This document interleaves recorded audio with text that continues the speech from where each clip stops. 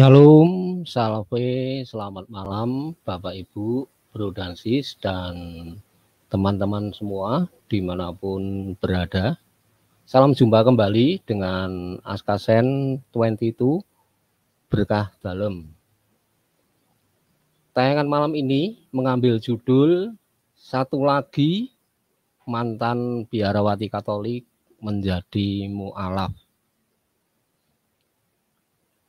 Narasi ini untuk menanggapi sebuah konten YouTube yang mana dalam wawancara itu ada seorang yang mengaku umat Katolik yang bernama Ibu Catherine yang menjadi mu'alaf.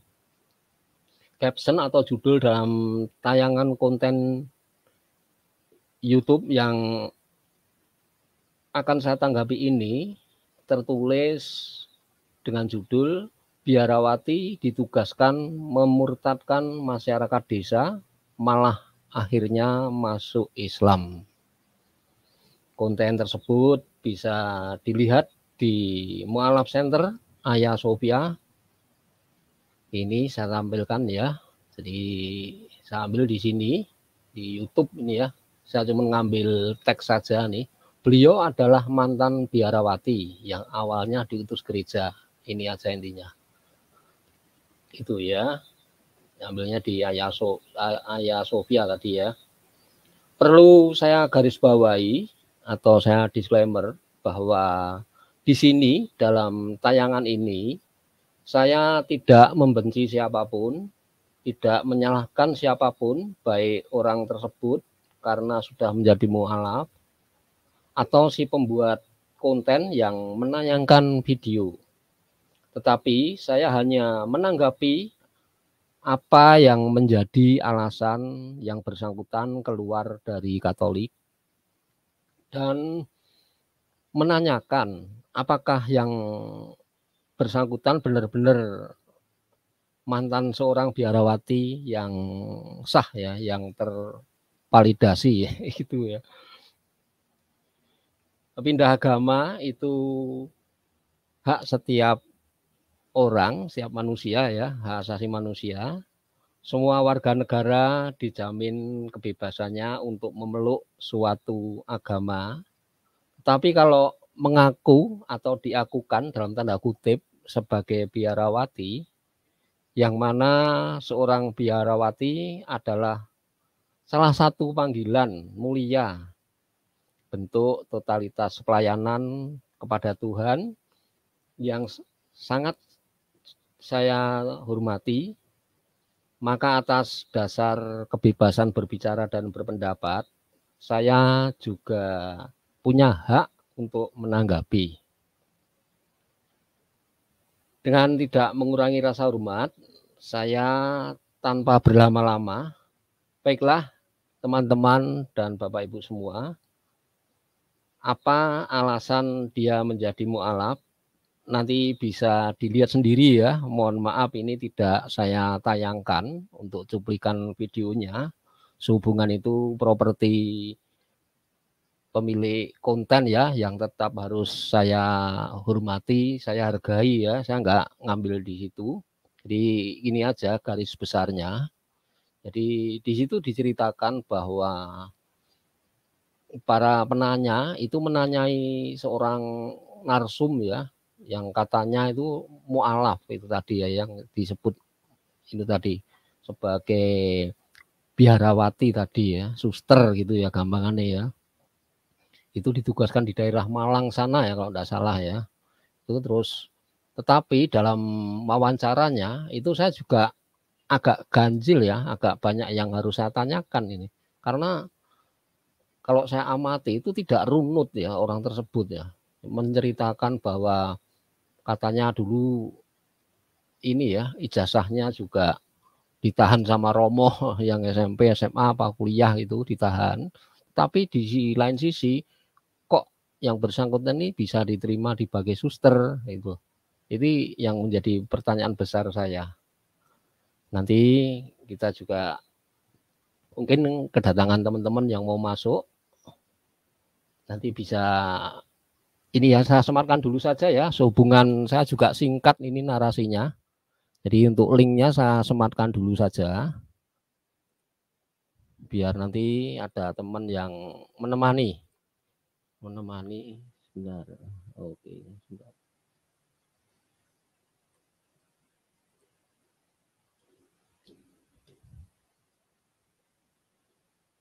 ini sudah saya sematkan. Mungkin kalau ada yang mau masuk nanti kami sangat welcome ya. Jadi di sini saya tekankan lagi ya, itu tidak membenci orang tersebut yang sudah pindah agama maupun si pembuat itu bukan, tetapi saya lebih fokus kepada alasan kenapa dia atau yang bersangkutan itu keluar dari Katolik seperti itu ya.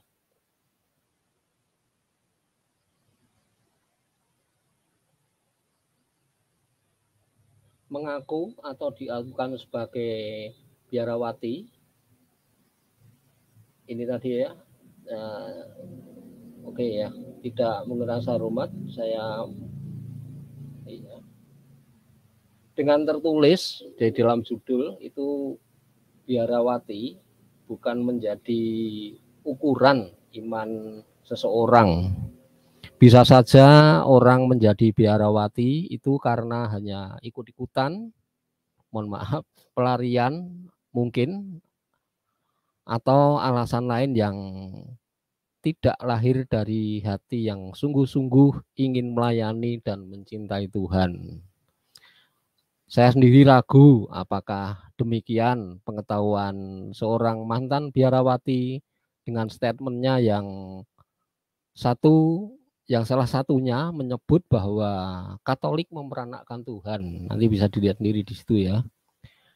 Apakah benar juga ijazahnya ditahan Romo sehingga tapi bisa masuk biarawati? Bukankah tiap masuk jenjang pendidikan atau profesi tentu tertentu harus ada syarat dilampirkan ijazah itu yang juga bikin saya ragu ya bahwa yang bersangkutan benar-benar seorang mantan biarawati ya.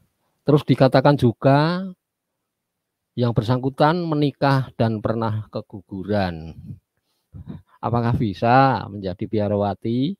Karena hal tersebut saya yakin sangat ketat persyaratan dan penyelidikan atau wawancara sewaktu penerimaan menjadi biarawati.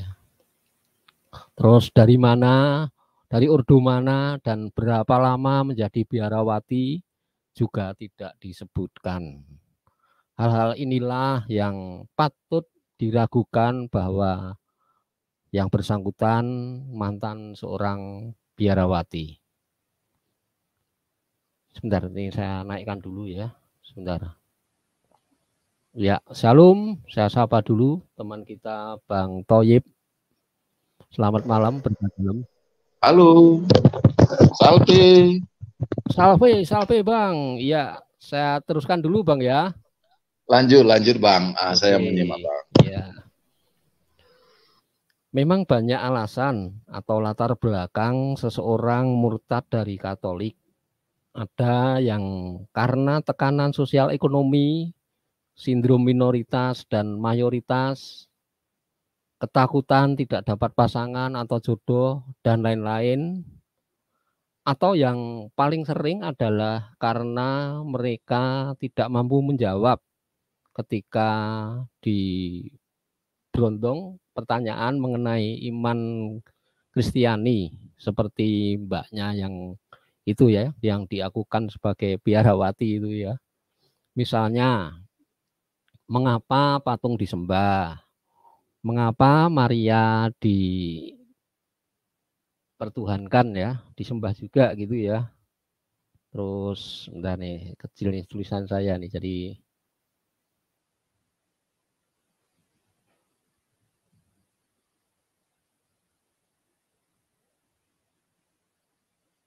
sebentar, sebentar. Sebentar tak buka yang ini aja. Tulisannya kecil jadi mohon maaf.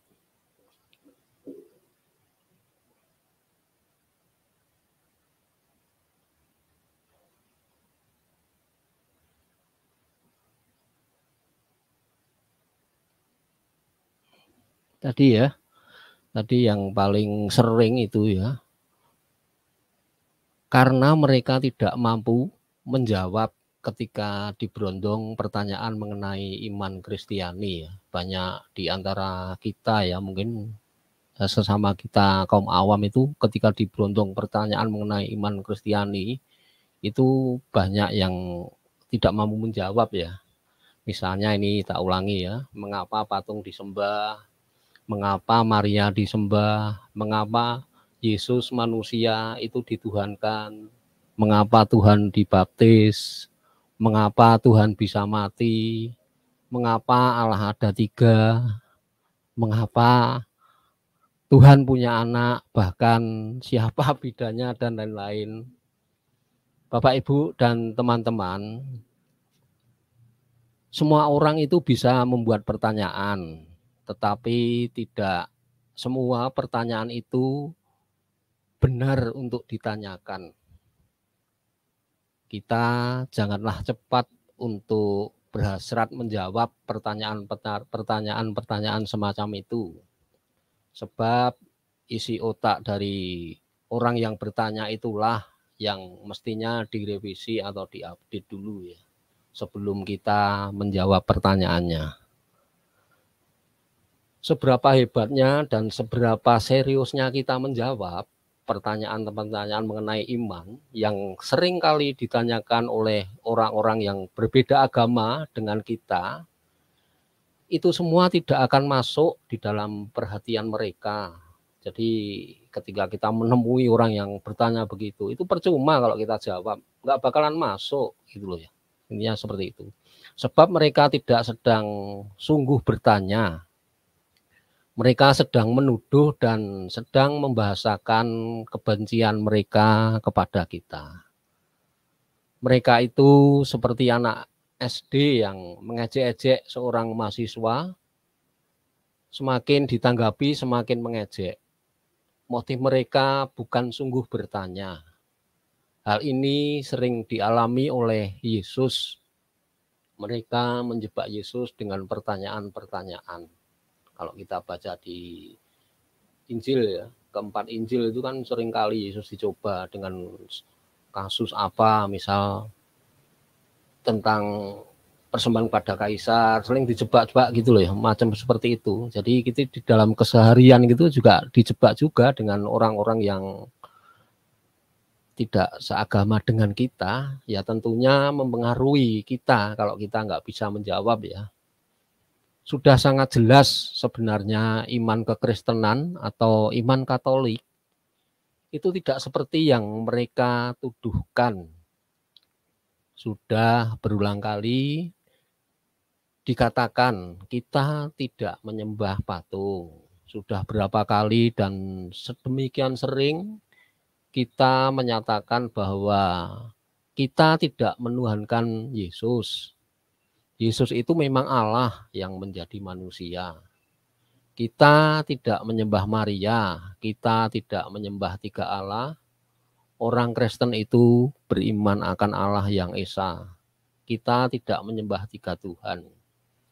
Ungkapan anak Allah itu tidak berarti Allah itu beranak dan seterusnya.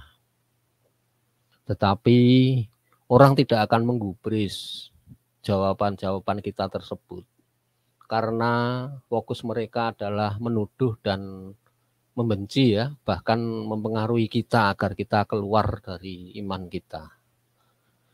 Sebuah pertanyaan yang muncul dari kedewasaan itu pasti disertai dengan rasa hormat, dengan penghargaan dan tidak mencari-cari persoalan. Tetapi anak ingusan tidak akan memiliki karakter yang mulia seperti itu. Demikian nasihat dari Romo Deso ya. Ini baik sekali ya untuk nasihat kita untuk meneguhkan iman kita. Salah satunya tadi yang saya bacakan. Kalau boleh saya tambahkan, saya ambil nas dari Injil Matius ya. Jangan kamu memberikan barang yang kudus kepada anjing dan jangan kamu melemparkan mutiaramu kepada babi, supaya jangan diinjak-injaknya dengan kakinya. lalu ia berbalik mengoyak kamu. Saya kutip dari Injil Matius bab 7 ayat 6. Satu lagi yang menjadi ini saya ya, pertanyaan saya di tayangan kali ini. Kalau mbaknya ini memang benar dulunya tervalidasi sebagai seorang biarawati, akan lebih abdol dan tambah meyakinkan apabila tayangan tersebut juga ditampilkan foto-foto atau dokumen-dokumen pendukung lainnya sewaktu menjadi seorang biarawati. Jadi tidak terkesan bukan cuma klaim mengaku atau tidak diakukan sebagai biarawati tadi ya. Saya meyakini bahwa netizen kita, netizen plus 62 ya Indonesia, terutama yang dari saudara-saudari Kristen Protestan dan Katolik sendiri sudah cerdas ya dalam menilai suatu kebenaran konten yang ditayangkan di channel-channel YouTube dan medsos lainnya. Mungkin ini dulu ya, sedikit narasi saya dulu. Ini saya masukkan juga nih Bang Apostolik TV. Shalom. Salve, selamat malam Bang Apostolik. Iya, shalom. Halo, salve Bang Aseyake. Uh, ya. Sebenarnya mohon mohon maaf saya nggak bisa lama-lama juga ya di Oh iya iya. Karena saya emang harus ya. keluar begitu ya. Jadi saya Ya, udah, silakan duluan Bang. Ya, okay. Tak kasih waktu duluan Bang. Siap. Uh, apa nih saya, saya tanggapi Bang Aska? Ya, gini, tadi ada dua ya. Yang satu saya meragukan statement dia sebagai seorang biarawati terus yang pertama tadi itu dia itu semacam dikasih pertanyaan tadi loh bang mungkin Tuhan Kristen punya kesimpulan seperti itu. Tuhan Kristen tuh beranak diperanakkan ya seperti itulah seperti kebanyakan itu. Jadi menurut abang gimana nih bang? Misal menjawab atau ketemu kasus semacam itu? Oh. dalam keseharian mungkin. Kalau dia ketemu kasus seperti itu misalkan aku ditanya gitu ya kok Tuhan lu beranak sih ya? Gitu. Misalkan gitu kan. Nah, ya, itu bukan ya, berarti Tuhan, Tuhan harus punya istri dan beranak gitu. Kita lihat aja tangga itu kan ada namanya anak tangga gitu. Maksud tangga ada ibu tangga, ada istri ada istrinya gitu tangga. Gak mungkin gitu kan. Nah, kalau ya. mengenai ini, ini ya mengenai yang ini ya yang, yang tadi di video itu hmm, Donditan itu ya. Bukan, Bang. Itu di Bukan. aduh Malap Center. Oh, Ayah Sofia. Kalau... Jadi yang bersangkutan itu dikasih buku Ihsan Moko Ginta itu loh, Ustadz Ihsan Moko Ginta yang sudah meninggal itu loh. Itu kan banyak mempertanyakan tentang ketuhanan Yesus itu loh, Bang. Oh, seharusnya sih ya mempertanyakan itu dia loh, Bang. Walaupun apa pun dikatakan kita harus mengkoreksi diri kita sendiri. Misalkan seperti ini loh ya. Misalkan saya ini penjahat gitu misalkan gitu bang saya kayak ya. Tapi saya menuduh-nuduh orang itu misalkan wah lu tuh nggak benar gini-gini tapi apakah saya yang penjahat ini menjadi benar? gitu. Iya iya nggak juga kan? Iya betul bang ya gitu. Makanya kalau orang-orang itu pemikirnya uh, mohon maaf uh, cuman dia di situ aja gitu pemikiran nggak pikir yang lain-lain ya boleh lah. Misalkan iya, iya. bilang iya. Yesus bukan Tuhan ini segala macam buktinya gitu tapi apakah yang terjadi benar gitu? Masa nggak nggak mungkin saya cerita di sini lah bang. Saya yakin. Iya. tahu lah maksud saya apa gitu. Iya iya udah tahu bang. Nah, nggak mungkin lah cerita di sini. Kalau saya sih melihatnya uh, saya apa pun yang dibicarakan itu saya hanya percaya itu sekitar percaya itu sekitar ya tiga persen saya percaya sama mereka itu. Kenapa saya bisa percaya gitu? Cuma tiga wah hanya tiga persen dikit sekali gitu kan. Ya kita udah tahu lah gitu. Misalkan berbohong itu kan boleh lah gitu kan ibarat gitu bang. Ada kan bang Aska? Iya iya. bel itu ada bohong gitu kan ya. Saya, ada tapi saya nggak uh, sampaikan ya. Tahu saya juga uh, tahu bang. Saya makanya saya nggak percaya gitu loh soalnya di situ aja boleh gitu ya kan apa mungkin saya percaya itu kan untuk membela apa yang dipercayainya gitu kan betul betul nah jadi saya sih cuma tiga persen aja sih ya percaya ya. Kalau toh kalau emang bener, sekarang kayak Irena Handono itu kan emang mantan Katolik ya, tapi bukan biarawati ya. Dia baru di apa namanya di pendidikan eh, ah, pendidikan biarawati dia kata YW ya dia tuh hamil gitu ya kan. Nah cabe-cabean ibarat berarti kan ya. Ya jadi wajar lah keluar dari biarawati gitu. Iya iya bang. Di cabe-cabean masih jadi biarawati ya enggak lah. Nggak cocok tuh mempermalukan Katolik aja gitu. Jadi saya komentarnya gitu aja. Ya ini apa? Ya ampun. Apa segininya gitu. Jadi saya itu yang apa saya Bang Gea nih? Kalau saya lihat Bang Gea ya videonya waktu lalu itu. Ya, wanita pernah jadi imam gitu. Memimpin misa kan itu lucu gitu. istimewa itu. Itu istimewa itu. Iya. saya lihat thumbnailnya ketawa saya. Memang sengaja itu ya? supaya kita terbahak-bahak itu melihat muka Iya, maka dari itu ya, abis itu ada juga yang tahun 2021 ya kan. Dari apa uh, uskup kalau nggak uskup Vatikan lagi uskup Vatikan yang saya dengar ya, saya dengar juga dari JDP channel ya. JD JDP ya saya dengar itu katanya uskup itu pindah agama bersama anak dan istrinya. Uskup Vatikan loh punya anak punya istri masa gimana? Gimana saya bisa percaya lagi gitu bang saya ke pembodohan dan mempermalukan diri sendiri ini bagaimana? Mungkin saya bisa percaya lagi gitu. Karena mereka ini kalau pakai nama Katolik mereka pasti langsung naik. Iya. Yeah. gitu. Udah pasti itu. Contoh Stephen Indra Wibowo. Ya kan? Waktu dia pakai nama Katolik mantan pastor lihat jadi ketuanya kan? Dia naik kan? Begitu Insan Insan Moko Ginta juga pakai nama pengantin Katolik jadi tenar banget. Iya. Gitu. Iya kan? Begitu. Ya, jadi gitu dulu Bang Asyake. Uh, nanti ya. kalau saya turun nggak apa-apa ya Bang Asyake ya, saya dengerin Oh, silakan dulu, Bang. Terima kasih Bang sebelumnya Bang. Ya, siap, siap, siap. Sudah Tapi saya dengerin dulu di sini sebentar. Oh ya, siap, siap. Mungkin Bang eh, saya sapa dulu nih Bang Kia. Shalom. Salam jumpa kembali nih Bang Kia. Ya, Shalom Pak Asayaki. Apakah suara saya uh, lancar di sini? Lancar sekali, Bang. ya, lancar, ini lancar. saya senang senang sekali melihat ini ada Bang Toyib yang tidak pulang-pulang ini ya. Ternyata dia di sini. salve, salve. Saya oh, tahu siapa ini. Aduh, Bang Toyib. Hari ini kita okay. anu, Bang kita nggak berat hmm. bang konten saya bang. Jadi nggak hmm. nggak terlalu ini. Cuman mungkin peneguhan dari teman-teman apologetik senior saja nanti mungkin buat kita kita semua bang. Hmm. jadi kita ini tadi menanggapi yang mirip kayak kemarin itu ya paman paman Askacen ya? Ini yang di Mualaf Center bang. Ini baru baru lagi nih? Baru lagi nih bang. Di captionnya oh. tadi ditulis seperti ini bang. Nah ini bang Beliau adalah nah. mantan biarawati ini. Waduh, ini perlu saya tanggapi juga ini nanti nih. Boleh ya, nanti ya. dikirim ke saya ininya uh, harus, linknya ini. Iya. Ini ya, bagus silakan, ini. Silakan. Ah, oke. Okay. Uh, saya tanggapi ya. Jadi ya, begini ya, ya. Pak Askacen ya. Uh, kesalahpahaman kayak gini-gini tuh itu dimulai dari kemalasan membaca tetapi sok tahu tentang sesuatu.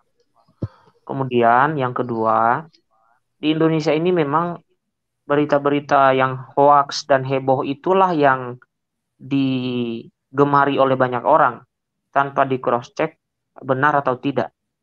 Ya, yang ketiga, orang-orang itu kan mengaku-ngaku ya mantan biarawati lah, mantan anaknya kardinal lah, anaknya uskup lah, nanti lama-lama anaknya paus. Saya heran loh, jadi mereka itu sebenarnya pada dasarnya itu mereka mencari panggung aja. Uh, siapa tahu dengan cara itu uh, mereka akan dipanggil uh, untuk jadi penceramah di berbagai tempat, diberi tempat yang istimewa di tempat yang baru yang mereka uh, ya di mana mereka pindah gitu. Tapi uh, sangat menyedihkan sebenarnya karena apa? Uh, mereka membangun sesuatu itu di atas kebohongan gitu ya. Uh, saya kira walaupun kebohongan itu uh, berjalan seperti kilat, tetapi suatu waktu dia akan kalah dengan kebenaran yang uh, orang melihatnya ah biasa saja gitu, tidak secepat kilat begitu gitu. Uh, terkait dengan uh, topik yang diangkat tadi itu atau thumbnail yang mereka buat, memang di Indonesia ini kan uh, terlalu banyak yang buta huruf Pak Askacen. Mereka ya, tidak bisa ya. bedakan, tidak bisa bedakan mana biarawati, mana yang bukan biarawati, mana pastor, mana yang bukan pastor. Mereka tidak bisa bedakan. Makanya di thumbnail-thumbnail mereka itu kan asal asal ngomong. Karena apa? E, sudah terbiasa ber, berbohong masalahnya. Kalau sudah terbiasa berbohong, diluruskan pun ya tetap aja berbohong karena ya seperti yang saya kutip ucapan Pak Ivan uh, sehingga kebohongan itu menjadi sebagian dari iman jadinya. Tapi satu hal yang perlu mereka ketahui bahwa ketika mereka berbohong seperti itu di thumbnail-thumbnail mereka, seharusnya mereka secara sadar malu gitu. Seharusnya mereka secara sadar mengetahui bahwa yang mereka sebarkan itu bukan kebenaran, tapi kebohongan gitu. Tapi susah dibendung karena di negara plus 62 ini terlalu banyak orang yang tidak mau belajar asal uh, lihat baitnya atau lihat thumbnailnya sudah langsung menyimpulkan. Tanpa menyaksikan tanpa me, me, melakukan cross check uh, itu sudah langsung yakin. Dan uh, anehnya ini ini menjadi fenomena yang terus berkembang uh, saya kira kalau kita tidak meluruskan hal-hal semacam ini ini menjadi bumerang gitu. Bukan hanya bagi kita tapi bagi orang yang memang dari kelompok yang uh, sebelah sana itu tetapi yang mereka memang tidak mau mengikuti cara-cara yang uh, berdusta dan berbohong semacam itu. Itu sih menurut saya Pak Askacen mungkin nanti saya bisa tambahkan setelah perputaran dengan Bang Toib dulu. Silakan Bang ya. Toib Terima kasih Bang Gias. Ya Bang Toyib silakan Bang. Iya, saya menurut menurut pandangan saya ini lucu-lucuan aja ya Bang Gia ya. Uh, atau cari konten udah habis konten dibuat-buat begitu-begitu. Mereka itu tidak tahu sebenarnya persyaratan menjadi birawati itu kan berat Bang ya. Ada beberapa syarat yang harus dijalanin. Nggak segampang itu langsung birawati. Birawati mungkin mendaftar dia mungkin Bang setelah mendaftar nggak diterima langsung mungkin ya langsung dia bilang udah jadi birawat birawati nah ini pembodohan untuk mereka mereka sendiri sebenarnya. Dan saya nggak yakin ini sebenarnya. Ya mungkin Bang Asayake atau Bang Gea bisa menampilkan ya kalau syarat-syarat menjadi birawat birawat itu seperti apa mungkin Bang Asayake Waduh. Dibacakan lah mungkin atau dicari di Google. Sudah biar mereka tahu. Ya, bang, ya. Gak segampang ya, yang mereka bilang itu gampang keluar. Iya. Gitu. Iya. Ada ya bang? Ada sih, cuman harus nyari mungkin. Tapi sudah pasti berat bang. Kita masuk sekolah berat. Katolik saja sulit, apalagi semacam-macam itu ya, semacam suster atau romo itu wah lebih sulit lagi, lebih ketat lagi. Mungkin ada penyelidikan kanonik segala macam lah. Mungkin itu. Saya sendiri juga awam ya jadi nggak begitu. Tetapi yang pasti gini ya. Ini ini bisa jadi untuk memengaruhi jadi kalangan kita sendiri orang Katolik sendiri yang mungkin ya tadi yang seperti Bang Gia sampaikan tadi ya mungkin kurang literasi kurang membaca tadi ya. Jadi ketika dihadapkan apalagi ini ya orang awam dikasih buku, bukunya Insan Moko Ginta yang seakan-akan mengenai ini ya, wah bahwa Tuhan Yesus tuh begini-begini, wah. Nah orang dihadapin kayak gitu ya harus pinter-pinter kita ya bang. Ini gimana bang untuk resep-resep seperti itu mungkin bang Gia mungkin caranya gimana untuk misal ada OMK yang dikasih buku seperti itu tanggapannya harus kita harus bagaimana mungkin pengalaman bang Gia mungkin Ya, mungkin nanti sambil Pak saya ke cari ya kalau ada di Google ya. Saya tidak pakai ya. uh, apa namanya pakai laptop soalnya kalau seandainya ada tulisan tentang bagaimana proses atau mungkin langkah-langkah masuk biarawati itu, Kalau ada itu cukup dibaca saja nanti. Oke, uh, saya tanggapi ya apa yang ditanya Pak Askacen ya. ya apa siap. tadi Pak Pak Askacen? Nah, gini. Uh, tadi apa ada apa apa yang menjadi pertanyaan tadi?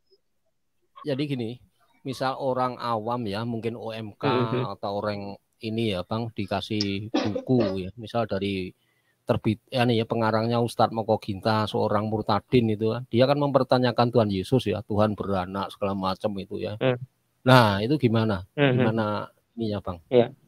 langkah-langkah gimana mungkin tanggapan saya ya oke okay. ya ya jadi begini Pak Askacen ya uh, bagi saya setiap orang itu harus memiliki sikap kritis. Jadi segala sesuatu yang kita dengar yang kita lihat yang kita saksikan itu jangan langsung diaminkan gitu ya. Jangan langsung diiakan gitu. Uh, itu butuh uh, kita cross check tadi itu penting cross check itu untuk mengetahui apakah yang disampaikan itu benar atau tidak.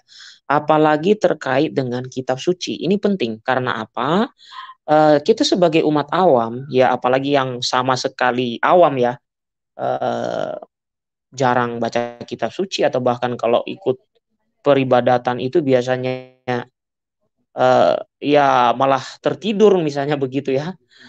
Uh, jadi sebaiknya memang uh, kita itu lebih baik cross check dulu atau paling tidak kalau kita menemukan buku-buku yang uh, isinya dibuat-buat, isinya di karang-karang ya di zaman sekarang itu kan banyak buku yang uh, tanda petik itu tidak lolos uh, international standard book ya uh, nation Uh, itu itu penting karena apa? Kalau ada itu, itu artinya bukunya itu bisa digunakan oleh uh, khalayak sebagai rujukan. Tetapi banyak juga yang mencetak buku tidak ada ISBN. Nah, uh, kenapa penting ISBN? Itu kan sama dengan makanan halal ya. Kalau di Indonesia itu kan ada label halal gitu ya, kira-kira begitu uh, untuk menyederhanakan pernyataan saya ini. Atau dalam uh, buku-buku yang kita gunakan di gereja Katolik itu ada selalu ada imprimatur dan nihil obstat. Nah, ini penting. Kenapa? Kalau misalnya awam Katolik atau orang muda Katolik menemukan buku tertentu, pertama-tama yang harus di, eh, di, dicari adalah apakah di sana ada imprimatur, ada nihil obstat. Kenapa itu penting? Kalau sudah lolos imprimatur atau nihil nihil obstat, itu artinya sudah lulus sensor kalau film ya. Kalau film itu sudah lulus sensor, gitu kira-kira.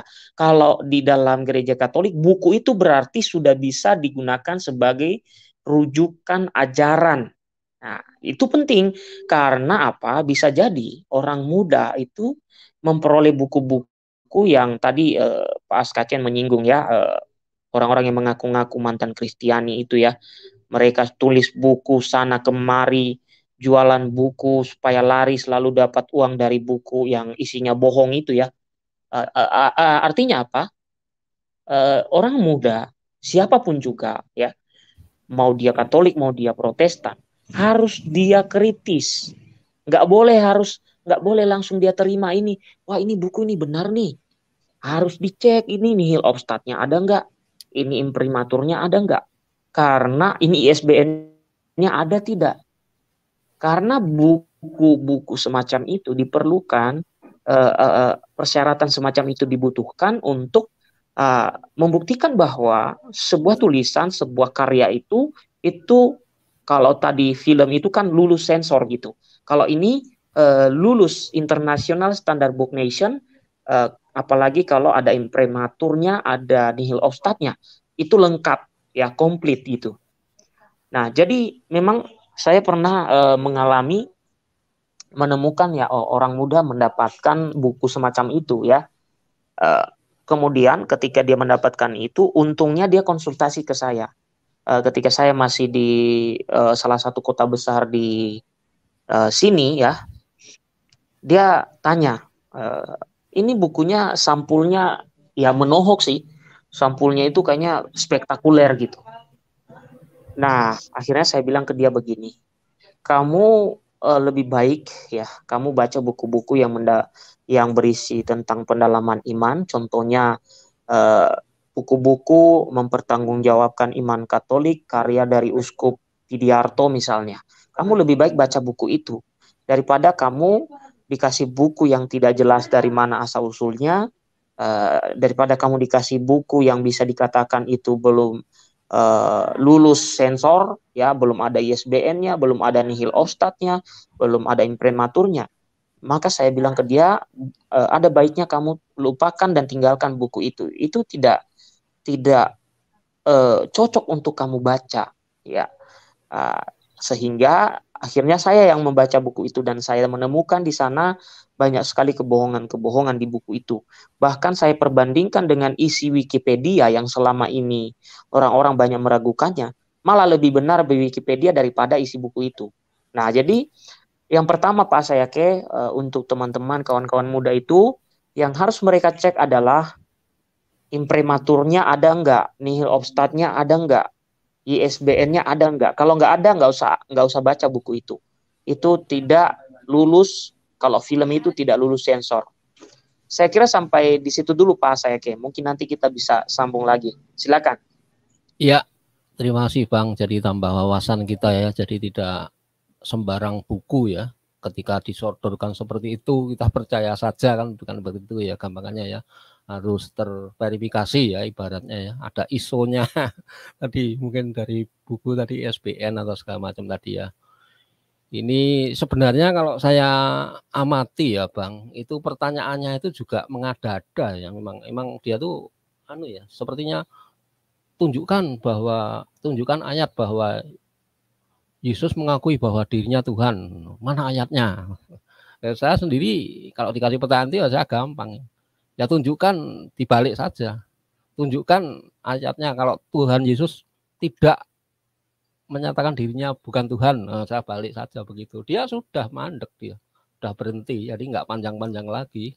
Seperti kemarin itu saya menanggapi ini ya bang, saya kan sempat upload punya abang itu yang saya potong tentang Deuterokanonika itu. Mungkin ada sebelah yang masuk itu sepertinya mancing-mancing gitu. Kalau saya amati seperti itu. Dia komen seperti ini. Katolik dan Kristen jelas-jelas kitabnya meragukan. Dia mancing ke situ dulu. Saya tahu ini orangnya sudah. Nah ini saya terus saya baca, saya, saya, saya sauri ya, saya balas gitu. Ukuran yang ada pada sampean tidak bisa jadi ukuran kebenaran karena sampean tidak mengimaninya. Tak gitu. Oke. Terus dia bilang ini iman tanpa akal sangat konyol. Tak dia bilang gitu. Dan justru kamilah orang-orang yang berpikir dan beriman. Kitab kami adalah kolaborasi antara relasi dengan Tuhan atau wahyu dengan manusia yang melalui para penulisnya. Mereka menyusun berdasarkan akal bukan iman buta bahwa kitab kami turun ke tebuk dari langit. Ya salam buat orang berpikir dalam begitu. Terima kasih atas sudah mampir. Salam persaudaraan. Lalu dia masih nanya lagi dia kitab Anda jelas atau hasil wawancara manusia Alkitab. Menurut Markus ini segala macam ini jauh dari wahyu ilahi. Akhirnya saya tutup. Saya tutup dengan satu kalimat. Ilahi sampean beda dengan ilahi saya. Bagimu ilahimu, bagiku ilahiku. Gitu saja. Tak bilang gitu. Akhirnya dia berhenti. Jadi kita memang harus pinter-pinter ini ya Bang ya, sebenarnya nggak jauh-jauh ya. Jawabannya itu nggak jauh-jauh dari pertanyaannya.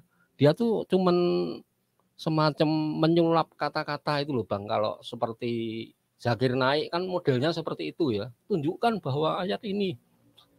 Ini kan sebenarnya jawabannya gampang, tapi kadang-kadang kita sebagai awam itu kalah mental duluan gitu loh Bang. Jadi terus kita bingung harus menjawab segala macam. Sebenarnya jawabannya nggak jauh-jauh kan. Dengan dibalik seperti itu mereka sendiri juga kesulitan akhirnya. akhirnya menjawab sendiri. Harusnya memang pandai-pandai juga untuk kita membalikkan arah pertanyaan mereka. Mungkin Bang Toyib Bang mau sampaikan Bang. Pengalamannya mungkin Bang Toyib di kantor atau di pergaulan mungkin gimana pernah nemui ya kalau saya sih menghadapi orang-orang seperti ini ketawa saja om Karena yang apa yang dibilangnya itu gak benar semua. Ketahuan uh, bohongnya gitu loh. Masa orang mau udah jadi seorang birawa birawati gitu pindah ke ke muslim ngomong-ngomongin yang lalu nggak ada sejarahnya begitu. Ya itu semuanya eh, hoak itu bang. Karena mau menjadi birawati uh, seorang birawati itu kan perlu proses yang tidak gampang. Jadi kayak tadi saya dengar tadi Om Asaken bilang dia apa sudah menjadi berawati katanya kan? Iya. iya. Saya ragu itu bang. Iya. Jauh itu dari api dari panggang itu. Kelihatan sekali bohongnya itu. Ya kita lucu Ini aja ya. ketawa ngadapin orang seperti ini. Tapi yang saya bingungnya, mengapa orang-orang seperti mereka ini nggak ada filter gitu loh, yang memberitakan yang sebenarnya caranya itu kok tipu-tipu, nggak sesuai fakta gitu loh. Itu kan dosa itu sebenarnya ya Bang. Ya? Iya. Tapi kok dia dihalalkan itu gitu loh. Itu, itu tujuannya mereka. itu mereka itu untuk menguatkan imannya siapa gitu loh, untuk menarik apa gitu loh. Tidak sesuai dengan fakta kenyataan membuat begitu framing-framing. Ya enggak, Bang? Gini. Ya, gini Bang Toyib. Kalau menurut saya itu ya itu urusan mereka ya. Yang penting kita intern sendiri ya. Mungkin kalangan kita, mungkin anak-anak kita harus cerdas ya menanggapi semacam itu. Tadi ada trik-trik dari Bang Gia itu bagus banget itu. Jadi biarkan saja mereka mau kita sendiri sebenarnya tahu, tapi ya kita nggak bisa kan harus wah kamu bohongin nanti, nanti penistaan segala macam kan kita lebih cari safe saja. Jadi kita mengamankan diri kita sendiri kalau saya seperti itu ya Bang ya. Jadi seandainya tadi dibilang, oh bagaimana dia menipu, ya itu kita harus pinter saja. Makanya saya kasih caption ya, kalau dia memang menyampaikan bahwa itu atau siapa pun ya, bahwa ini seorang rohaniawan, seorang pastor, seorang pendeta, seorang kita anu saja lah, simpel saja. Kalau memang itu benar, ijazah atau dokumen tampilkan saja, tampilkan di foto itu baru percaya. Tetapi ketika itu tidak tampilkan itu sudah pasti bohong itu saja. Ketika cuma pengakuan di mulut, saya bisa juga ngaku di mulut, Bang. Ketemu Superman, saya ngomong-ngomong dengan bahasa Krypton itu saya juga bisa. Tapi kan itu pengakuan kan, kenyataan kan tidak. Jadi memang kita harus cerdas ya, Bang. Semacam-macam ada tadi ya, biara waktu. Kita harus cerdas. Kalau memang biara waktu harus konsisten. Ada surat buktinya yang tervalidasi. KTP atau gimana nih. Ijazahnya sebagai suster pernah ini harusnya gitu kan jangan kita langsung ter, ter ini ya. Maksudnya silo ya. Wih, wah ada orang biarawati ada romo. Murtad percaya langsung. Enggak. Itu kristis. Romo mana ijazahnya? Gitu kan. Mana piagamnya? Wih, itu harus gitu. Jadi umat Katolik itu harus cerdas. Umat Protestan juga harus cerdas. Jadi tidak bakalan ditipu dengan trik-trik yang begitu. Gitu Bang. Gia mungkin ada tambahan lagi Bang. Ya, oke. Okay. Eh, saya tanggapi tadi Pak Asayake ya tentang pertanyaan-pertanyaannya. Uh, begini Pak Askacen ya, saya tuh malah berpikirannya lebih lebih umum. Uh, setiap bidang bidang ilmu pengetahuan itu pasti ada spesialisnya. Ya, contoh dokter umum itu tidak sama dengan dokter spesialis. Guru yang lulusan PGSD itu tidak sama dengan guru uh, atau dosen yang uh, bidang sejarah atau dosen bidang psikologi atau uh, dosen bidang bisnis dan lain-lain. Setiap orang saja dalam kehidupan uh, sosial itu punya perannya masing-masing untuk uh, tidak semua orang bisa. Ya, dokter umum dia tidak bisa uh, menjalankan uh, tugas sebagai dokter spesialis. Harus ada uh, bisa dikatakan sertifikatnya di situ. E, mengenai pertanyaan-pertanyaan tadi, sebenarnya jawaban sederhana bagi mereka adalah Anda spesialis apa? Kira-kira begitu. Kalau Anda spesialis yang lain bukan di bidang yang Anda tanya, atau bukan di bidang yang Anda sedang buat framing, ya uh, ya sederhananya tadi itu cukup uh, kita mengatakan bahwa Ya kalau bukan spesialis yang membahas mengenai itu ya apalagi dia tidak mengimani itu ya otomatis nggak akan ada yang benar gitu ya kalau contohnya dokter ya bisa malpraktek nanti kalau di, dokter umum bisa jadi uh, spesialis bedah gitu kira-kira ya spesialis eh, spesialis bedah ya bedah yang dia dia uh, kerjakan bukan ditukar dengan yang umum gitu kira-kira. Nah kalau orang awam biasa uh, meskipun dia di keyakinan dia itu dia adalah tokoh dia adalah pakar, lalu dia urus yang bukan spesialisnya dia, ya itu itu namanya nggak nyambung gitu, nggak nyambung. Kalau soal pertanyaan-pertanyaan tadi, sudah banyak sekali kita memberi jawaban mengenai itu, ya. Eh, pada intinya, kalau kita jelaskan juga Pak Askacen, jarang ya, yang mau ya. menerima. Intinya apa? Ya. Orang bertanya, kalau hanya bertanya untuk untuk basa-basi, bukan untuk belajar, bukan ingin tahu, tapi hanya ingin mencobai, ya satu kata, jangan berikan mutiara kepada babi. Gitu ya. ya. Lebih baik babinya jadikan babi guling. Itu kan? ya. ya kan? Ya, Jadi Iya, ya betul. Nah, jadi eh, sudah banyak penjelasan soal uh, mengenai itu. Baik di dalam katekismus gereja Katolik juga ada gitu ya. Uh, kitab suci juga ada tafsir-tafsir juga ada. Permasalahannya orang yang bertanya itu ingin mencobai atau ingin belajar. Yang bertanya itu ingin merendahkan atau ingin uh, tahu gitu dari hatinya ingin tahu. Nah berbeda dengan orang yang uh, dia hanya coba-coba dia hanya untuk meledek aja uh, lalu dia sesuaikan dengan spesialisnya dia gitu loh. Makanya tadi saya katakan dalam kehidupan eh, jasmaniah aja setiap orang itu punya bidangnya masing-masing. Ingat eh, Pak eh, teman-teman yang menonton ini nanti di dalam gereja Katolik itu kita punya bagian-bagian itu loh.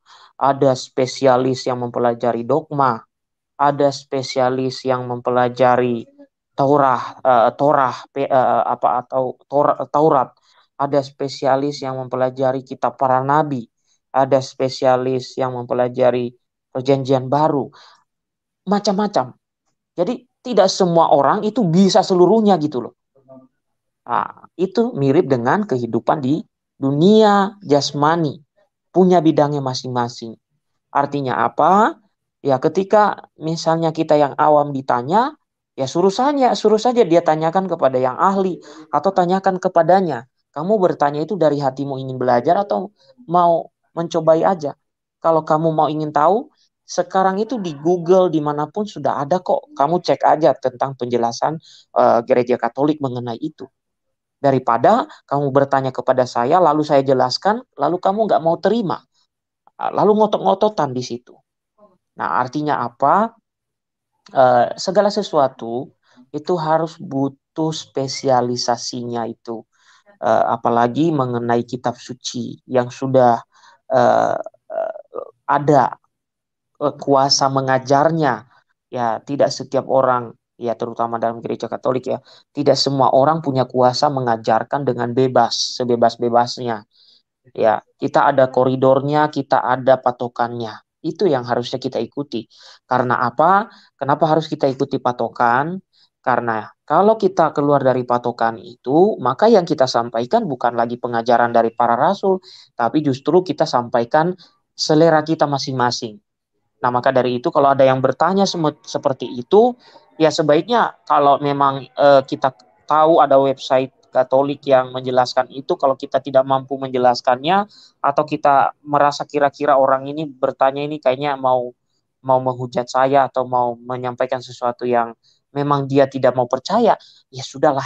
Daripada kita sibuk untuk itu kasih saja link. Misalnya ada katolisitas di situ ada Yesaya Yesaya dot uh, dot ID atau apa itu ya. Kemudian ada banyak sekarang ini. Atau yang dari luar negeri ada Catholic Answer gitu ya kasih aja ke dia daripada uh, kita berikan mutiara kepada babi padahal kalau kita potong itu babi jadikan babi guling gitu ya uh, jadi percuma gitu Pak saya kayak untuk kita jelaskan kepada orang-orang semacam itu demikian juga. Iya. uh, dulu Pak saya kayak Iya, betul Bang ya. Apa yang walaupun kita menjelaskan dengan runut dengan segala macam nggak bakalan digubris. Bener percuma itu tadi sudah saya bilang juga di narasi ya.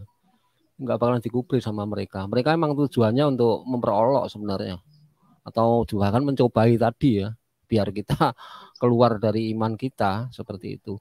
Di baru dua ya, tapi sudah lumayan yang didapat dari Bang Gea ya. Tadi yang pertama tentang ini ya, ciri-ciri buku yang bisa dipercaya tadi ya, mungkin dengan standarisasi oh. terverifikasi tadi. Terus yang kedua, oleh siapa ya, mungkin expert di bidang itu ya. Seperti ini ya Bang ya. Seperti orang Katolik sendiri kan banyak yang ini ya. Akhir-akhir ini kan banyak orang Katolik sama masuk di CN itu kan. Itu kan expert bidang apa itu? bukan teologis, bukan ini. Mungkin teknik. Tapi ngomongnya ya nah itu itu memang harus cerdas ya semacam itu seperti tadi dibilang Bang Kier tadi ya. Itu Bang Toyib gimana? Silakan Bang Toyib. Uh, ini mau tanya sama Bang Gea. Mungkin kan tahu lah ya karena tadi uh, video yang ditampilkan Bang Asaken bilang mereka bilang kan uh, mantan suster itu ya Ya, dia bilang untuk mengkristenisasi katanya. Tahu saya memang ada tugasnya seorang suster untuk mengkristenisasi, Bang Gea. Nah, di situ aja mungkin udah salah ya, Bang Gea. Coba dijelaskan tugasnya seorang suster mungkin ya. Intinya aja. Jadi biar mereka tahu bahwa seorang suster itu ada nggak mengkristenisasi di lingkungannya gitu loh. Gimana ya. Bang ya? Oke, suara saya terdengar ya? Iya, ya. ya, bagus Bang. Ya, oke. Jadi uh, terlalu mengarang-arang ya sesuatu yang tidak benar. Biasanya suster itu mereka bergerak di bidang sosial, bukan di bidang me, membuat orang supaya pindah ya. Uh, bidang sosial kemasyarakatan, misalnya mereka membantu di uh, rumah sakit, kemudian mereka membantu di uh, sekolah, atau di perguruan tinggi menjadi dosen atau di sekolah menjadi guru atau di rumah sakit uh, mereka membantu di bagian-bagian uh, tertentu. Jadi tidak ada tugasnya untuk memaksakan orang untuk mengikuti apa yang uh, mereka yakini atau yang diyakini oleh suster suster-suster biarawati itu. Itu tidak benar ya. Kita itu nggak ada semacam itu ya. Karena berpindah iman itu kan harus dari hati nurani, bukan karena paksaan. Itu yang diyakini oleh gereja Katolik. Makanya gereja Katolik itu tidak ada itu embel-embel kalau bantu orang itu. Oh, yang kamu nanti harus pindah ya, harus ikut saya ya. Gak ada kayak gitu. Ya kalau dari hati nuranimu mau pindah ya silakan saja. Tidak ada yang bisa melarang kalau hati nurani yang berkata. Jadi saya katakan di sini tidak ada tugas biarawati Katolik seperti itu. Anda tahu ya, yang terkenal sedunia seperti Mother Teresa. Apakah Mother Teresa ketika dia membantu orang-orang Hindu, orang-orang Buddha lalu dia uh, memindahkan mereka dari Hindu Buddha supaya mereka menjadi uh, mengikuti Mother Teresa? Tidak ada, ya. Tidak ada yang seperti itu. Yang kita tahu dia bangun uh, suatu rumah singgah untuk orang-orang yang sakit, untuk orang-orang yang uh, secara sosial terpinggirkan, tidak diperhatikan. Itu dia bangun rumah itu untuk membantu mereka uh, yang sakit kusta untuk menyembuhkan mereka dan lain-lain. Itu uh, perlu kita ketahui hal itu. mana ada berita Mother Teresa, Mother Teresa memurtadkan orang-orang Hindu dan orang-orang Buddha. Gak ada itu cerita. Ya, gak ada cerita itu. Jadi kita itu melakukan sesuatu ya memang memang karena kami ini diperintahkan untuk melakukan sesuatu yang baik itu. Karena ada ada kata-kata semacam ini ya. Uh, kalau seseorang tahu bagaimana ia harus berbuat baik tetapi dia tidak berbuat baik ia berdosa. Nah, saya kira dalam kitab Yakobus ada itu ya kata-kata itu. Oke jadi kalau ada yang menuduh biarawati Katolik itu mengkatolikan orang uh, sepertinya mereka perlu belajar deh ya. Mereka perlu belajar. Kita itu Di gerakan-gerakan sosial kita lakukan, tapi kita tidak pernah mempengaruhi orang untuk pindah agama. Nggak ada kerjaan aja loh, itu ya kata-kata kasarnya begitu. Nggak ada kerjaan lu, ya kan? Ngapain maksa-maksa orang? Orang itu dari hati nuraninya sendiri dia mau, itu baru kita terima gitu. Ya, Uh, itu pun kalau dia sudah ikut misalnya pelajaran itu misalnya katekumenat misalnya kalau dia nggak mau lanjut ya sudah uang keselamatan dia sendiri kok kenapa kita harus maksa-maksa misalnya begitu ya teman-teman iya. ya jadi jadi udah jelas ya udah jelas banget ya apa yang disampaikan Bang Gea ya untuk saudara-saudara ya. kita yang di sebelah ya bahwanya hanya Kristen suster itu tidak pernah untuk tugasnya untuk mengkristenisasi. Jadi semua itu yang disampaikan itu bohong semuanya. Gitu. Oke, mantap Bang ya. Lanjut. Ya, iya. Uh, saya saya kira sampai situ dulu. Silakan Pak Asayakis. Uh, Asayakis. Iya, Bang. Mungkin masih ada dua ini, Bang. tadi kan sebab-sebab karena mungkin tidak mampu ngejawab terus mungkin itu tadi ya mungkin satu lagi bukan masalah ini bang masih ada masalah jodoh sama masalah tekanan sosial bang mungkin masalah mempengaruhi ya. Mungkin tekanan sosial masalah minoritas mayoritas itu kan juga mempengaruhi ya bang ya. Mungkin karena di sekitar kita seperti itulah mayoritas kayak apa terus kita jadi nggak berani nggak percaya diri untuk menampilkan iman kita ya. Jadi minder atau apa itu kan juga pengaruh juga ya bang ya.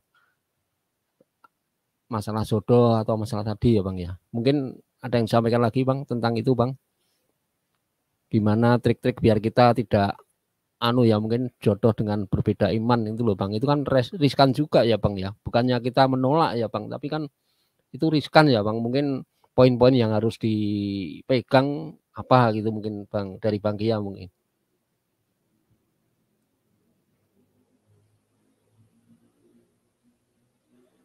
Mungkin Bang Bang Tayyib. Halo, Bang. Bang Tayyib. Halo, halo, halo. Uh, ya, Bang. Ya mungkin tekanan sosial, Bang. Gimana, Bang? Misal kok satu kantor itu yang Katolik sendiri. Nah, itu ya makanya kita uh, tidak ada mengkotak-kotakan orang Pak Asayake uh, saya kira ya uh, seharusnya banyak orang yang harus meneladani apa yang kita lakukan ini kita itu tidak pernah itu berpikiran untuk oh kalau kamu uh, nanti saya bantu kamu harus pindah gitu ya uh, dan banyak lembaga-lembaga uh, lain seperti rumah sakit sekolah Eh, lembaga sosial seperti asrama, yayasan, membantu orang.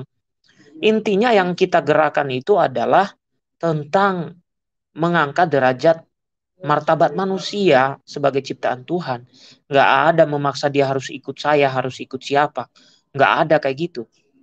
Nah, kalau ada yang eh, kemudian menuduh seperti itu, ya saya kira itu karena mereka tidak pernah bergaul lebih jauh. Pergaulannya masih sekitaran lingkungan dia sendiri itu. Kalau dia sudah melihat, sudah menyaksikan, mana ada seperti itu. Ya, contohnya, kalau tadi saya berikan contoh seperti uh, Mother Teresa, kalau saya berikan contoh yang lain seperti Oscar Romero, atau saya berikan contoh yang lain lagi, di Indonesia itu ada Romo yang terkenal namanya Romo Mangunwijaya. Romo Mangunwijaya itu kan dia membantu banyak orang pada masa kehidupannya. Coba ditanyakan kepada mereka yang telah dibantu, disekolahkan, dibuatkan rumah, ya, ya dibuatkan di, di, diberi ya diberi fasilitas. Uh, bagaimana Pak Sayake? Ya, dibuatkan hunian di Kalicode kan Bang ya. Iya. Ah, itu kan contoh sederhana Pak Sayake. Kalau kalau kita memberi contoh kepada mereka, Emang ada yang memberi kesaksian sampai saat ini, oh Romo Mangun Wijaya sudah uh, me mengajak saya, memaksa saya untuk saya ikut dia. Nggak ada. Yang kita baca justru kesaksian-kesaksian dari orang yang berbeda itu untuk mereka mengatakan bahwa tentang kemanusiaan itu, tentang humanitas itu, itu uh, bagian dari apa yang penting kita lakukan. Karena apa? Ya tadi itu saya sudah sampaikan. Kalau seseorang tahu bagaimana ia harus berbuat baik tetapi di, dia tidak melakukannya, ia berdosa. Nah, bukan berarti kita juga memaksakan harus berbuat baik kalau kita masih uh, belum mampu lah istilahnya begitu. Nah, yang terjadi dengan Romo Mangun Wijaya itu kan nggak ada itu berita yang saya baca. Wah, ketika dia sudah membangun rumah-rumah, membangun uh, apa menolong anak-anak mereka, lalu kemudian Romo Mangun memaksa mereka untuk ikut menjadi Katolik. Nggak ada kayak gitu. Sampai sekarang saya belum mendengar kesaksian dari orang-orang yang dibantu-bantu itu. Nah, sehingga kalau ada yang menuduh seperti di video tadi, oh berarti Anda harus belajar lebih banyak lagi. Dan Anda harus mencuci uh, pikiran Anda yang kurang baik itu. Saya kira seperti itu Pak Asayake. Iya, Bang Kia, terima kasih. Bang Toyib mungkin Bang menambahkan. Ya, sudah jelas semuanya ya apa yang dikatakan Bang Gia ya. Bahwasanya orang Katolik itu ya berkarya secara nyata. Tidak ada pernah yang seperti yang di Bang Gia tadi untuk mengajak untuk menjadi seorang Katolik nggak ada memang saya dengar. Seperti di lingkungan saya ini, suster-suster itu pergi ke panti jompo yang beda agama gitu.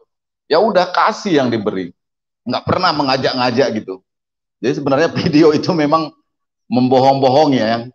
ya mungkin kita orang OMK ketawa ya membaca itu, uh, menonton video itu. Tapi yang kasihan tuh ya mereka-mereka itu yang dibohong-bohongin dengan video itu, gitu loh Om. Uh, saya mau tanya sama Bang Gea ya tentang buku itu Bang Gea. Uh, harus ada tadi badan sensornya ya Om Gea. Agak melebar lah uh, pembahasan kita malam ini. Kalau buku itu seorang apologet, dia mengutip-ngutip lalu dia menyebar-nyebarkan, dia menawarkan untuk di channel dia untuk membeli bukunya, itu sah nggak buku dia itu bang dia? Nah, karena saya lihat ada seorang apologet gitu, dia kutip-kutip, dia kutip-kutip gitu loh, versinya dia. Nggak tahu badan sensor mana yang udah lulus gitu loh. Setelah itu dia terbitkan, dia jual gitu loh. Nah itu sah nggak bang Gea? Iya, tadi saya sudah katakan kan, uh, biasanya contoh ya saya kasih contoh uh, kalau saya menulis buku yang berbentuk sosial atau berbentuk sejarah atau berbentuk budaya uh, biasanya pasti yang uh, pertama-tama saya harus minta adalah uh, uh, ISBN International Standard Book Nation itu salah satu uh, indikator bahwa buku yang saya tulis itu sudah lulus sensor tetapi itu kan tadi buku yang uh, konteksnya sosial, ya. Konteksnya semua orang bisa baca.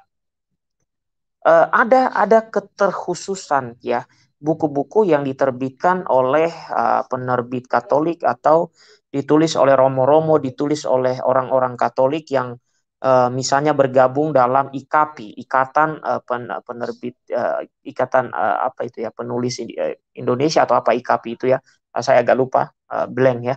Ah, jadi uh, terkhusus kalau buku-buku Katolik biasanya kalau kita buka di bagian depan itu uh, selalu ada contohnya nih. Saya ada buku ya, saya coba buka. Contohnya saya ada buku yang ditulis oleh Romo Desi Ramadhani SJ menguak Injil-Injil rahasia. Ah, Kemudian kalau saya buka bagian pertama ya ya kurang lebih uh, bukan bagian pertama ya. Nah, uh, mungkin halaman 3 atau 4 atau uh, di mana gitu ya.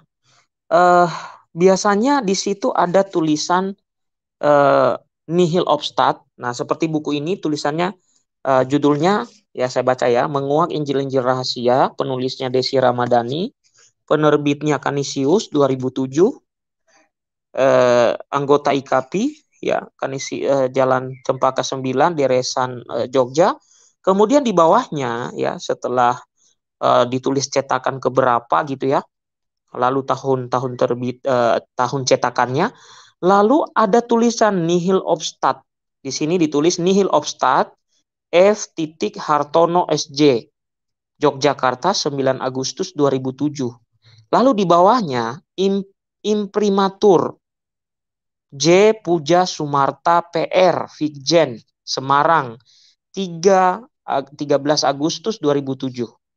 Lalu di bawahnya ada tulisan ISBN 978 979 21 17 363. Ah, ini komplit. Berarti ini sudah lolos. Sudah bisa di uh, digunakan.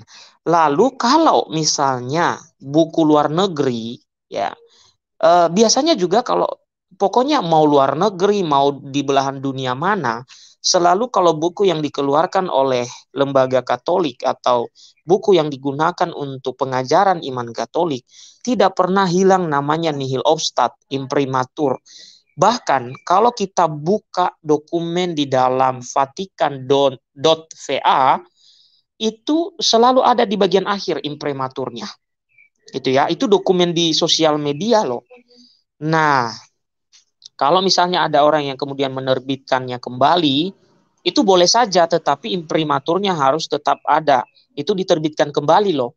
Tapi kalau ada seseorang menulis menulis sendiri tanpa ada imprimatur tan tanpa ada uh, nihil obstat itu patut diragukan ya patut diragukan begitu bang Toib apakah saya sudah menjawab atau belum ya yang ditanya sudah sudah sudah jelas om cuman ada satu apa ya kan aku lihat ya mungkin bukan Katolik ya proti gitu tentang konsili ya itu dia upload lagi dia mungkin dia ambil-ambil lah dari mana kita nggak tahu lah sejarahnya itu dia terbitkan. Nah itu sah nggak itu itu nilai obstat nggak itu om?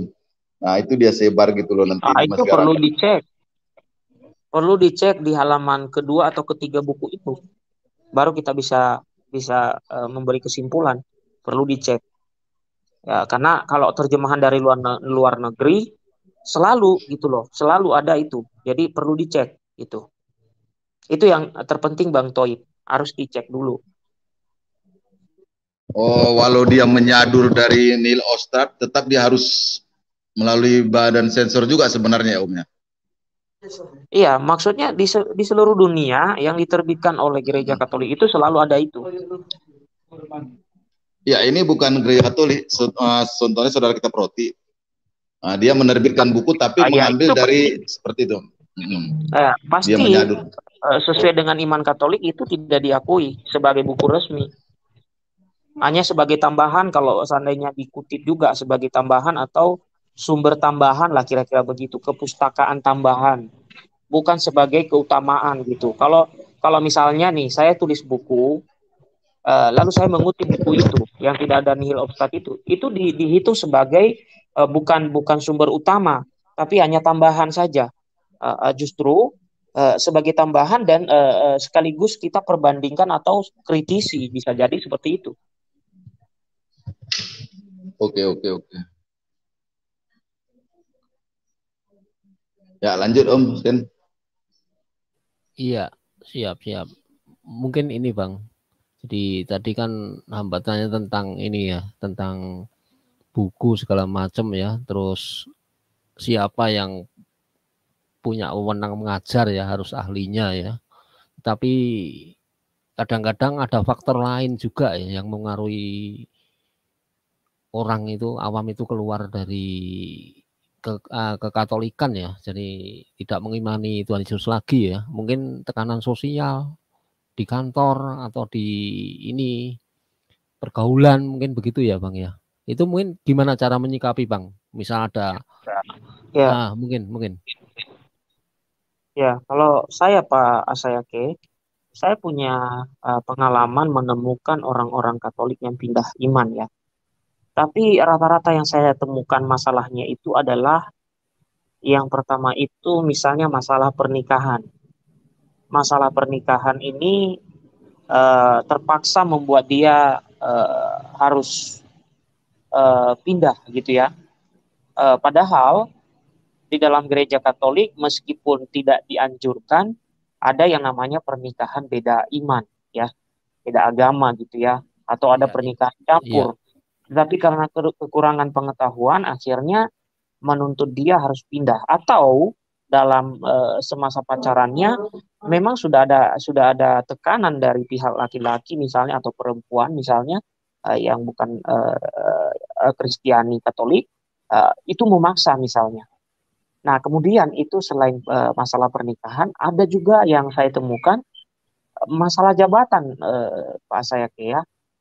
Ada orang yang me, ya mohon maaf kalau saya harus katakan itu Yudas Iskariot pada zaman modern ini menggadaikan nama Yesus, menjual Yesus uh, demi jabatan, gitu kan ada seperti itu.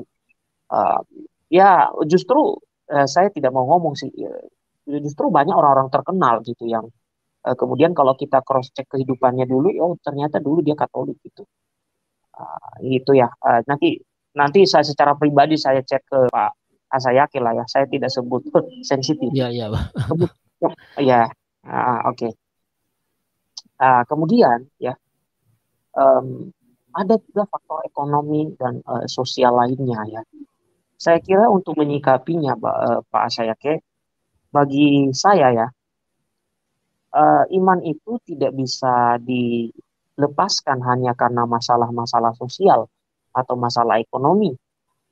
Kalau kalau kita melepaskan iman kita kepada Kristus hanya karena uh, kehidupan kita mengalami kesulitan, mengalami uh, cobaan, godaan, kalau kita lepaskan, uh, itu saya kira justru satu langkah yang keliru, satu langkah uh, menuju ke jurang gitu. Karena apa? Justru uh, perhatikanlah kehidupan para rasul misalnya atau orang-orang terdahulu dari iman kita. Seperti yang ditulis di salah satu surat di dalam kitab suci dikatakan belajar da belajarlah dari nabi-nabi, uh, dari rasul-rasul yang telah mengajarkan kepada kamu uh, tentang iman itu. Nah, kalau kita belajar dari dari kenyataan kehidupan mereka pada saat itu kan mereka dikejar-kejar, dibunuh, uh, tidak tenang hidupnya, gitu ya, tidak uh, masih mendingan kita saat ini masih kita bisa berleha-leha, makan enak gitu ya. Apalagi yang ada di kota besar gitu ya. Nah, kalau kita belajar dari para rasul e, cara kehidupan, saya kira tidak ada yang akan Iya, iya, ya, Bang. Ya, Bang Toyib mungkin mau close atau gimana? Silakan. Sudah lumayan ini. Tidak ada pertanyaan dari room, jadi eh, dari chat room. Perlu jadi... orang yang bisa memberikan suatu arahan, bimbingan. Ya jangan cari tokoh yang lain di di, di luar sana gitu kita harus cari yang eh, memang misalnya Romo atau katekis atau siapalah yang bisa uh, atau misalnya wali baptis kita siapa yang bisa memberikan masukan untuk kita siapa yang bisa memberikan uh, apa namanya solusi untuk kita uh, jadi jangan cari yang lain yang uh, di luar itu karena resikonya adalah yaitu tadi uh, meninggalkan uh, misalnya mengenai uh, pacaran beda iman atau menikah beda iman harus konsultasi memang uh, kepada pastor paroki kah uh, harus konsultasi juga kepada orang-orang yang mengerti gitu ya. Jadi supaya jangan kita ini kita hidup ini kan harus cerdik seperti ular, tulus seperti merpati, ya. Jadi jangan jangan semua hal itu kita pendam sendiri misalnya kalau ada masalah. Ya, kita carilah orang-orang yang kira-kira memberikan solusi untuk kita. Meskipun kita tidak menemukan solusinya 100%, ya 100% itu hanya dari Tuhan asalnya. Kalau dari manusia sama manusia mungkin untuk sementara waktu kita diberi solusi. Ya, kira begitu Pak saya. Jadi jangan uh, menjadi Yudas di zaman modern ini untuk menjual Yesus. Kira-kira begitu. Iya. Silakan. Iya, iya, iya. Baik sekali, Bang. Bang Toyib, silakan, Bang. Ya, kalau pengalaman di lingkungan saya sih banyak sebenarnya ya. Nah, terutama yang wanita-wanita itu pindah ke Protestan atau ke Katolik ya.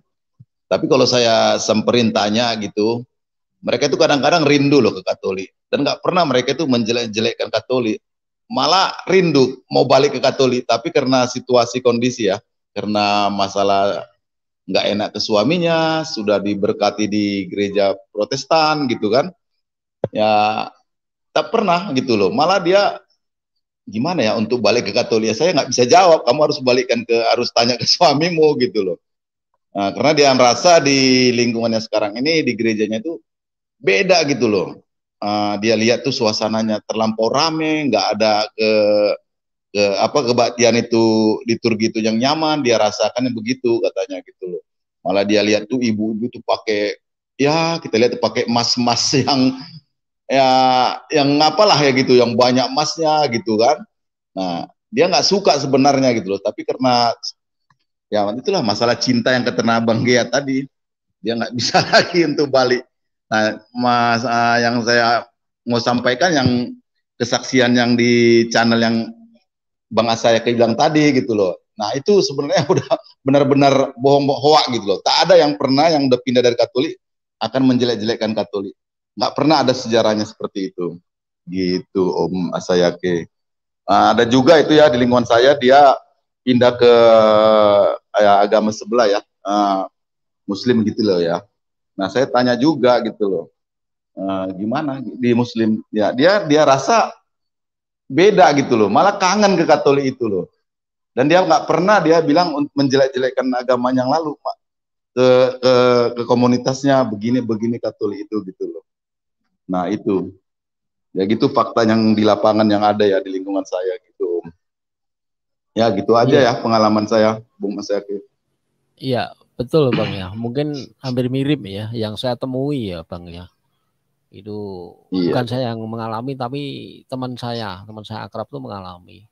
Jadi pada suatu ketika dia tuh diajak berdoa ya. Jadi besok lah besok orang orang sakit tapi tokoh agama seberang bukan agama sebelah itu tokoh ya dia yang buka di situ masjid di situ ya musola di situ tokoh di situ ya ditokohkan lah di kampung itu suatu ketika dia sakit sakit kan pada orang kampung itu malah nggak besuk, tetapi teman saya itu besuk bang.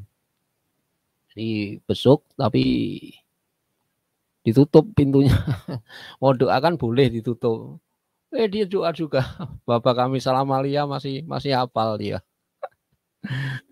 Jadi kadang-kadang memang tidak bisa ya serta merta langsung dipisahkan itu tidak bisa. Mereka dalam hati kecil juga sebenarnya masih tidak rela untuk mening ini ya meninggalkan ya mungkin ya tadi tekanan sosial segala macam itu sangat mempengaruhi sudah kadung jadi tokoh mosok gini ya mungkin tiap orang kan penerimaannya berbeda-beda bang. Itu yang saya temui di tempat saya bang. Itu mau iya, closing bang? Silakan mau uh, iya om saya dan lagian juga gini om saya kayak ada juga yang dari seberang itu pindah ke Katolik gitu loh. Kita nggak pernah untuk mengeksploitasi loh menanya-nanya kenapa gini-gini atau membuat jadi konten kayak YouTube. Saya kira untuk apa gitu loh dibuat konten gitu. Nah itulah iya. sifatnya ya Katolik ya. Kalau kita saksikan sendiri banyak yang masuk ke Katolik, tapi kita nggak mau jadikan itu konten untuk berkesaksian bahwa di agama betul. yang lalunya begini-begini gitu. Anu bang. Nah kelebihan kita kan di situ Mas Yang butuh tuh kita bang. Iya. bukan bukan ini ya.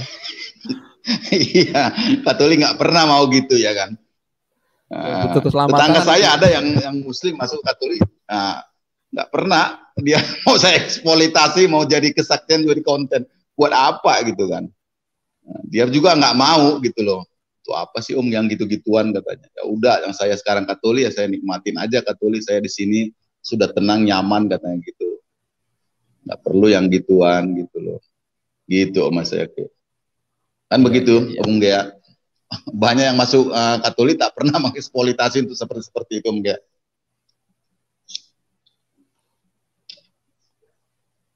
Oke, Om. Ya, halo. Ya, lanjut. Ya, Pak saya kayak terdengar suara saya belum? Iya, Bang. Jelas, Bang. Ya. Uh, saya kira tadi seperti uh, Abang Toyib ini ya, yang suka nggak pulang-pulang ini memberi ya, udah lama nggak pulang. Nah, jadi memang kita itu tidak penting untuk kita ekspor uh, apa uh, kita buat uh, apa namanya konten-konten semacam itu ya. Uh, yang penting orang itu dia yang memang memilih itu dari hati nuraninya. Kalau soal ada kesaksian-kesaksian ya biasanya isinya bukan menjadi jelekan orang gitu ya. Kalau kalau misalnya kita menemukan di beberapa YouTube isinya bukan menjelekan tapi dia menceritakan kisah apa yang dialami gitu ya. Beda dengan tadi yang uh, Pak Sayake munculkan di awal itu. Kalau itu kan dia menjelek-jelekan tadi, saya sudah cerita tadi itu. Saya kira uh, memilih iman itu kan hak setiap orang. Tapi uh, kalau yang mengaku-ngaku pindah dari Kristiani lalu dia pindah ke sana gitu lalu dia beri kesaksian-kesaksian yang keliru, kesaksian-kesaksian yang heboh, uh, sekalian aja ngaku sekalian aja ngaku mantan paus gitu. Jangan tanggung-tanggung. Gitu kan? Eh, seperti yang dilakukan oleh yang mengaku anak kardinal kan nggak usah tanggung tanggung udah. Loh permalukan diri aja sekalian gitu. Nah ya, jadi kasihan ya kasihan memang. Itu. Begitu pak saya ke iya ini ini anak paus. Anak ikan paus om iya bang. Ini bagus nih dari ini ya live chat nih bang Sam Tingwong di paroki saya paling pastor mengatakan semoga dia yang mualaf mengajarkan katolikan pada lingkungan barunya. Itu aja. Ya ini cukup cukup bijak ya. Tapi memang memang semua itu dalam rencana Tuhan ya bang yang pasti ya. Jadi tidak ada yang ini ya. Pasti ketika dia dibuang ya tentu ada gantinya kan. Seperti barang siapa yang ini ya tidak berbuah akan dipotong. Seperti itu ya bang ya mungkin dong ya.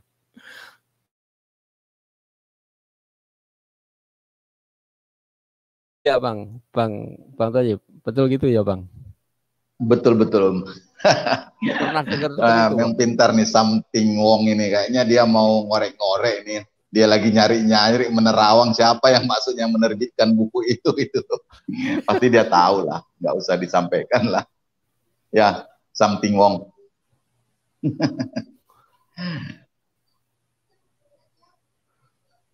Oke Bang, sudah satu jam lebih. Kalau mau closing silakan Bang Toyib. Nanti yang terakhir Bang Kia. Ya, dari saya statement closingnya ya kita sebagai orang-orang muda Katolik kalau menonton channel-channel begitu ya senyum-senyum aja. Itu semuanya ya kebohongan itu sebenarnya. Nggak ada yang begitu-begitu ya. Yang kita yang udah masuk Katolik ini.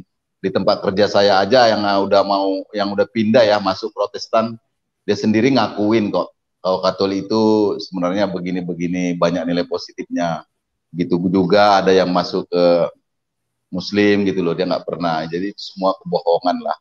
Bisa dibilang itu cari konten yang ngaco gitu yang ngaur-ngaur lah menghalalkan segala cara tipu-tipu oke gitu makasih Om itu aja dari saya ya menutup iya mungkin dari saya sedikit nih closingnya. Tak bacakan dari dari Roma apa ini, tak bacakan ya nasihatnya nih. Apa yang dikagumi dan apa yang dianggap benar oleh banyak orang belum tentu itu yang dikagumi dan dipandang benar oleh Allah. Jangan meletakkan dasar kebenaran pada selera mayoritas Kebenaran itu otonom, sekalipun kebenaran itu sering tersandera, tetapi kebenaran tidak akan pernah mampu untuk dimusnahkan. Jangan berpegang pada selera umum, berpeganglah apa yang benar. Sekalipun secara umum orang tidak suka dengan kebenaran itu. Kebenaran iman kekristenan itu mahal harganya, dibayar dengan nyawa. Sejak awal manusia sudah tidak suka dengan Yesus yang membawa itu. Yesus itu adalah korban dari suara mayoritas yang menolak kebenaran. Mungkin closing saya seperti itu. Mungkin Bang Gia, silahkan Bang, closingnya Bang. Ya, oke. Baik Pak Sayake, ini konten yang dibuat Pak Sayake ini bagus sekali ya. Uh, jadi teman-teman, kawan-kawan yang uh, membuat kon membuat konten-konten yang menuduh-nuduh yang tidak benar, uh, harap ingat bahwa tidak ada Tuhan yang menyukai penipu, tidak ada Tuhan yang menyukai kebohongan. Jadi tidak ada biarawati itu ditugaskan untuk memurtadkan orang. Kalau ada kegiatan-kegiatan sosial itu murni untuk kemanusiaan. Contoh tadi saya sudah kasih contoh ya eh, bahkan pastor ya atau yang lebih dikenal Romo Mangunwijaya. Silakan teman-teman, kawan-kawan yang belum tahu tentang beliau dibaca saja Romo Mangunwijaya itu sangat berjasa untuk membantu eh, orang-orang yang terpinggirkan pada saat itu, orang-orang yang tidak bisa sekolah pada saat itu, dan banyak hal lain sosial lain yang dia bantu. Tetapi tidak ada satupun bahwa tujuan itu adalah untuk memaksakan uh, imannya kepada orang lain. Contoh yang lebih spektakuler lagi adalah Mother Teresa juga. Tidak ada itu orang Hindu atau siapa pun yang dibantu pada saat itu dipaksa supaya pindah atau di, dibuat pindah begitu kira-kira. Jadi tuduhan-tuduhan semacam itu tidak ada dalam gereja Katolik. Dan orang yang mengaku diri sebagai mantan biarawati tadi itu di video itu, itu tidak benar. Kalau dia mantan biarawati, tolong disebutkan kongregasinya apa. Tolong ditunjukkan buktinya kapan dia masuk ya, pendidikannya seperti apa karena menjadi biarawati itu nggak nggak nggak segampang uh, kursus-kursus nggak segampang seperti yang di Onono ya. Uh, hanya karena ngaku-ngaku mantan ini mantan itu udah langsung diangkat jadi guru atau pengajar gitu. Itu nggak segampang itu ya. Kalau ada segampang itu berarti itu tidak benar ya. Itu bohong yang disampaikan itu. Sudahlah berhenti berdusta. Nggak ada Tuhan yang menyukai dusta. Terima kasih Pak Sayake. Iya, terima kasih buat teman-teman yang ada di live chat atas kehadirannya. Para narasumber tadi, Bang Degias Official, Bang Toyib, Puja Roma TV, Bang Apostolik TV, dan ini ya, yang telah hadir di room, yang telah meluangkan waktu, dan menambahkan pencerahan-pencerahan bagi kita semua. Mohon maaf jika ada perkataan saya yang tidak berkenan di hati sebelum dan sesudahnya atas perhatiannya saya ucapkan banyak terima kasih. Berkah dalam. Salam, salam. Berkah dalam. Salam. Berkah dalam. Salve, salam. Ya, makasih Bang. Ya, ya. Ya. ya.